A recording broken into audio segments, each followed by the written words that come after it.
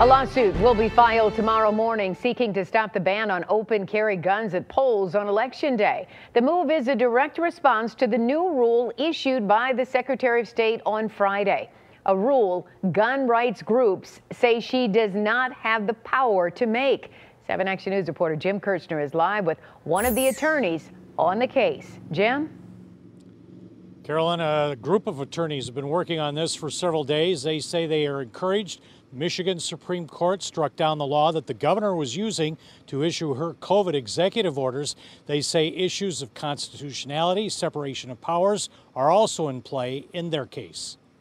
The Michigan Constitution spells out that it's solely the legislature who uh, enacts voting laws, uh, to preserve the purity of elections and guard against abuses. The Secretary of State says the open carry gun ban was issued because of protests in Lansing over COVID restrictions. She says she doesn't want voter intimidation on Election Day at the polls, and she has the legal authority. I and the Attorney General and, and many others, uh, through well-established case law and precedent, uh, have underscored uh, does is is allowed and is permitted and uh, is you know part of my role and responsibility as the state's chief election officer you know, I think that was a political stunt, uh, quite frankly, to, to, to say that. The sheriff in Livingston County tells 7 Action News people can open carry in his county on election day, period. No, we're not going to enforce it. Several other sheriffs have asked for clarification, and some have said they expect people to show up with guns, as they did in Lansing, to make their own First and Second Amendment political statements.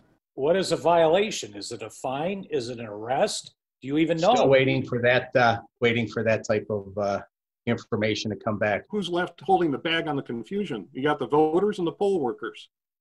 And I think it's that, that confusion that acts as uh, uh, to suppress the vote.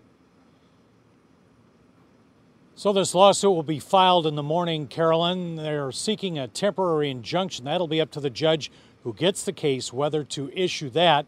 The rest of the rest of the legal issues will be hashed out after Election Day. Back to you. Another battle brewing. All right, thank you so much, Jim, for the live report. We'll watch it for sure.